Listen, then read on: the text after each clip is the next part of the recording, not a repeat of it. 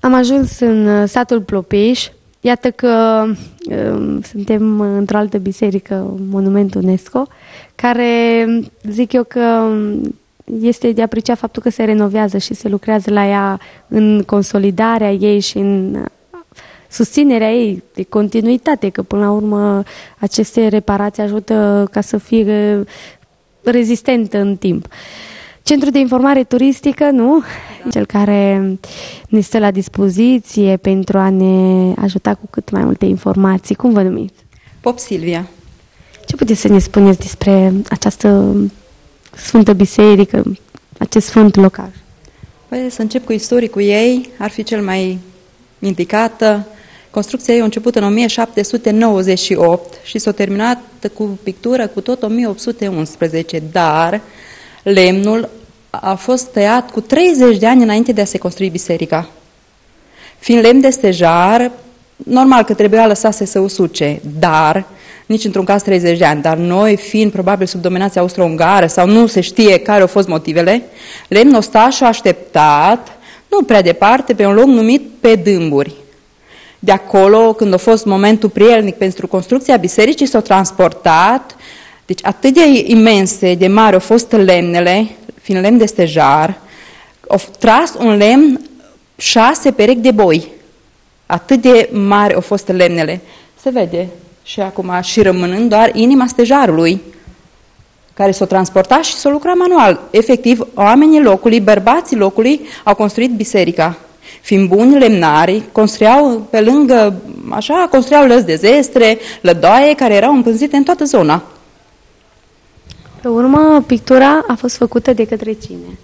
Uh, pictura a fost făcută de către Ștefan Zugravu. Uh, nu știu ce să se zice că ar fi de la Șișe sau în orice caz din zonă, dar un lucru care pe noi ne, aici aproape este un cherchi care se numește Tiertiul Zugrădenilor. Acum, nu știu să vă spun, sau probabil o locuit în perioada cât sau au fost din zonă, sau au primit, nu se știe de ce locul respectiv se numește Tiertiul Zugrădenilor. Probabil au fost... Niște zugrafi pe acolo. Sigur, sigur a fost. Ce puteți să ne spuneți despre pictură? Uh, pictura, să încep cu partea de jos, e între Nou Testament și Vechiul Testament. Pe partea de jos avem șase picturi pe o parte și șase pe partea asta la altă din Noul Testament. Începe cu cina cea de taină, Iisus în grădina Ghețimani, cum se roagă și îngerul cu paharul, că Așa? Arestarea lui Isus cu sărutul lui Iuda, înfățișarea Pilat din Pont la Ana și Caiafa. Și aici sunt patimile lui Isus, crucificarea lui și luarea de pe cruce. Mai sus avem și pe o parte și pe alta sunt 24 de bătrâni din Apocalipsa lui Ioan. Știm că scrie că în Apocalipsa lui Ioan sunt 24 de bătrâni care vor participa la judecată. În centru avem Trinitatea, pe lângă sunt din nou șapte îngeri care cântă din trompetă. Vedem... În Vechiul Testament avem o pictură extraordinar de frumoasă, e Ilie proroc în carul cu foc murcă la cer și în urma lui îi Elisei, ucenicul Elisei.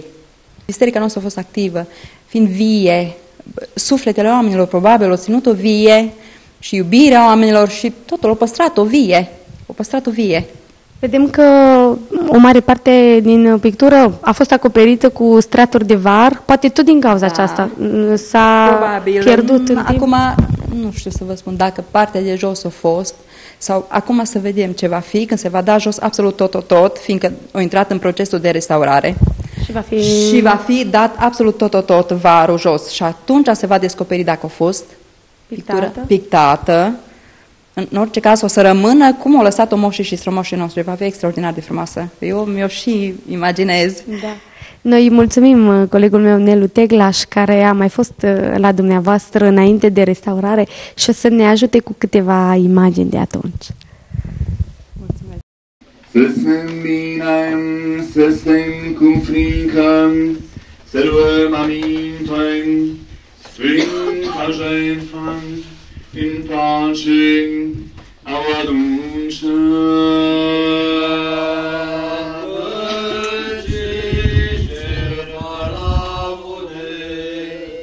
Domnului nostru Iisus Hristos și dragostea lui Dumnezeu în Tatăl, și împătășirea Sfântului Duh, să fie cu voi cu toți.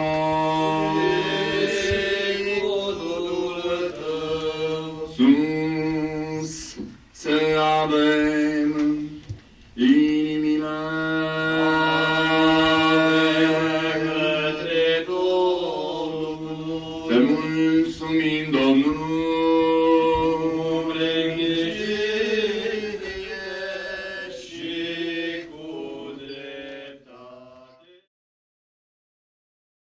Vedem că s-a mai păstrat uh, și aici un detaliu de Petru și Pavel, Petru nu? și Pavel, da, da. Sunt, uh, că tot uh, suntem în postul Sâmbtietrului.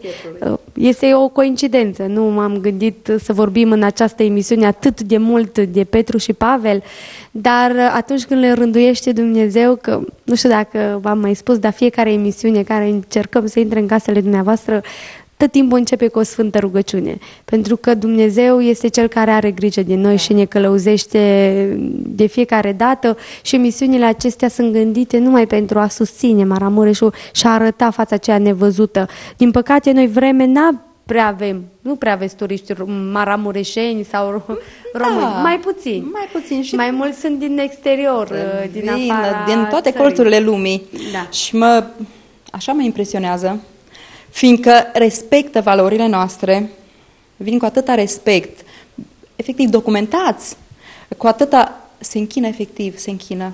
A- M-a impresionat extraordinar că am văzut japonezi veniți în costumul ăla de kimono și așa, efectiv s-au închinat, aveam icoanele înainte, s-au închinat la fiecare icoană, fiind de religie deosebită ca așa noastră. Așa este. Da.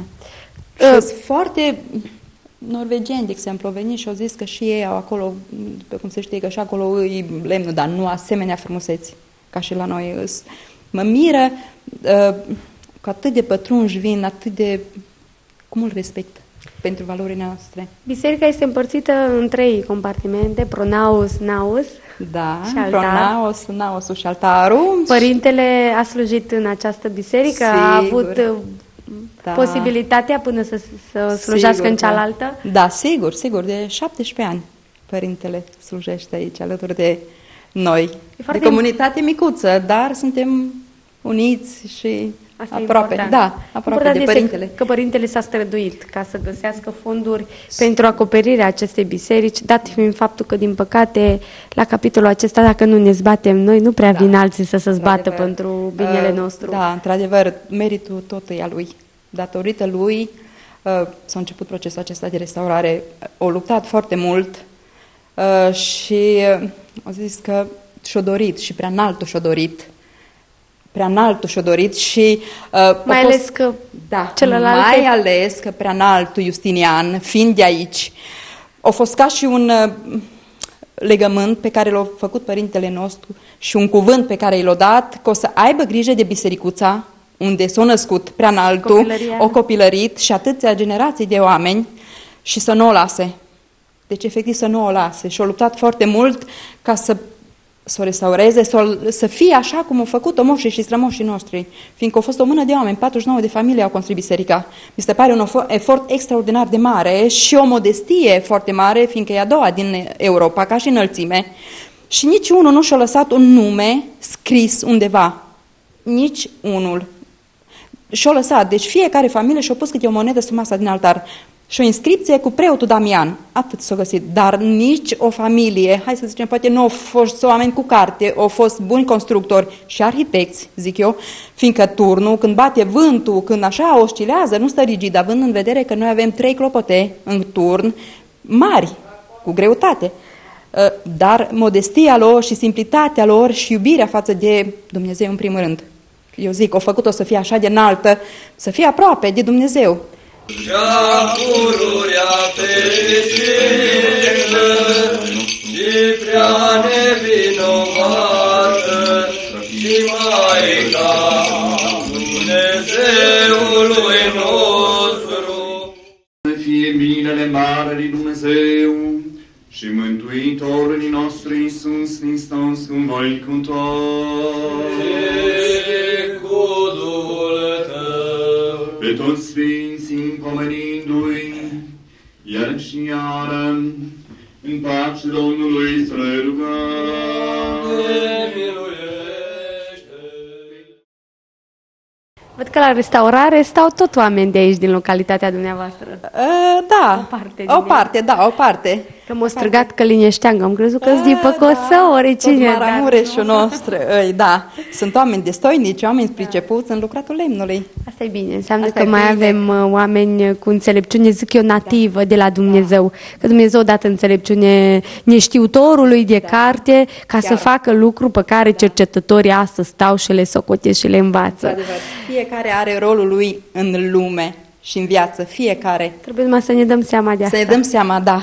Unde merg în Oriaș astăzi la Sfânta Biserică? La noi se construiește o nouă biserică cu hramul Duminica Mare, Duminica tuturor Sfinților. Și acolo, tot datorită părintelui Hramul ați avut? Nu.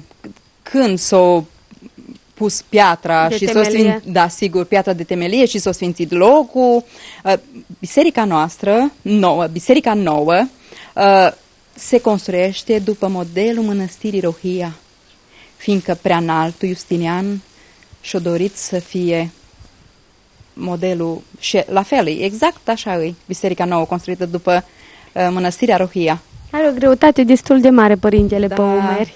Are, într-adevăr, da, e un om puternic, un bun gospodar, Da, de să știe. da, un om e și anost, acum e și anost. Într-adevăr că originile și rădăcinile o parte sunt, Da. dar Da, e foarte important. cred că și sufletul lui e și Da. la noi, că acum slujește de atâția ani, de 17 ani, cred că 18 ani slujește la noi și putem să zicem că e de anost, Așa e. că noi îl iubim și îl, suntem aproape de el, da. Mă bucur tare mult. Care ar fi particularitățile, să zic eu, aparte a acestei biserici? Uh, particularitățile, na, printre ar fi clopotele care sunt puse în turn uh, și care se trag manual de fune, cum făceau moșii și strămoșii noștri. Acolo în turn. Deci, efectiv, Că în și turn. noi avem, da, da. coborât o... Nu, Funie la până noi sunt în turn și sunt două foarte vechi, 1851 și 1853 și se trag manual de funie, urcă tinerii, bărbații, clopotarii, cum se zice la noi, clopotarii, urcă în turn, când e slujbă, când moare cineva, deci urcă în turn și trag clopotele. Nu e prea simplu, e un efort destul de mare.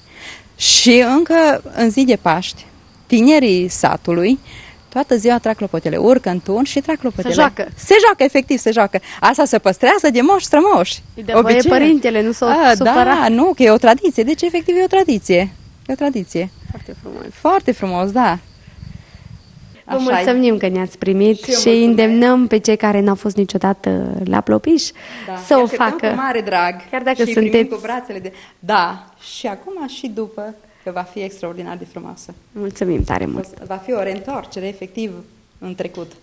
Dar eu vă spun de vezi pe moarte,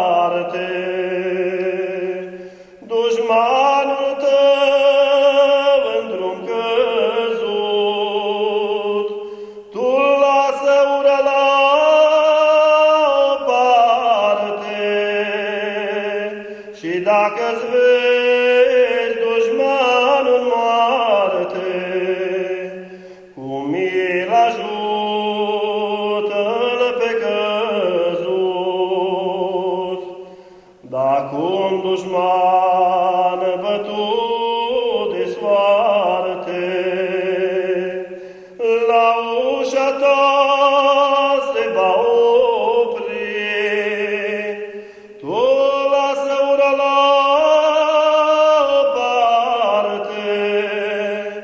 dușmanului.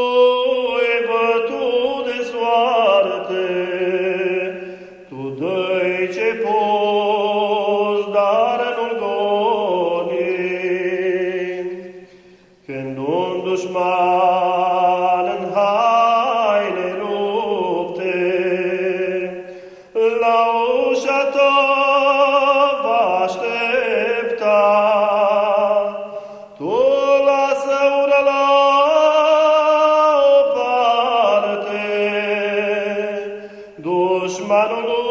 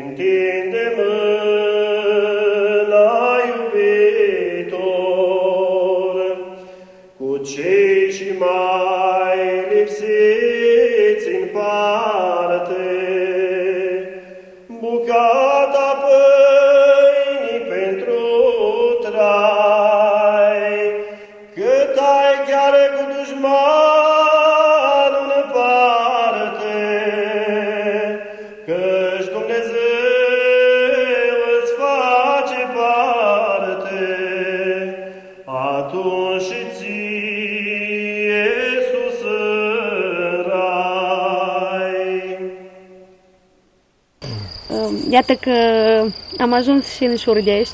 Am călătorit împreună cu domnul Munteanu, care are origini de pe Mara, să zic așa, unde se adună Iza, Mara, la un loc din Vadul Izei. Cum ați ajuns uh, aici, în această comună? Ei, prin căsătorie, normal. M-am căsătorit, soția e din Negrea, originară din Negrea și am ajuns eh, să fiu, să zicem, eh, pasionat al, al, loc, al cunoscător al locurilor și pasiunea asta m-a făcut să, eh, să întreprind mai multe eh, lucrări, sau să zicem, să întreprind mai multe Cercetări. cercetări în legătură cu istoricul acestei comune, fiind și 8 ani de zile consilier local. Comuna Șișeș este una dintre, formată din șapte localități, e Șișeș, Urdești, Dănești, Negreia, Plopiș, Cetățele, Băntăieni și are, să zicem, uh, uh, o colecție întreagă de monumente istorice. La număr sunt 19 monumente istorice, clasa A și B, dintre care două sunt uh, în patrimoniu UNESCO, Biserica din Șurdești și Biserica din Plopiș. Șurdeștiul, ca și localitate, este atestată la 1411, are o istorie comună împreună cu toate celelalte sate din comune, începând cu anul 1566, ele aparțin de domeniul monetăriei din Baia Mare. Fiecare sat erau sate iobăgești, erau conduse de către un jude. Respectiv la Șurdești, prima mențiune cu primii locuitori, să zicem, a unor fam- fa- familii de, de, de locuitori din Șurdești, sunt familie Bud și Bârda. La 1614 există 9 iobagi și trei care erau veniți din altă parte.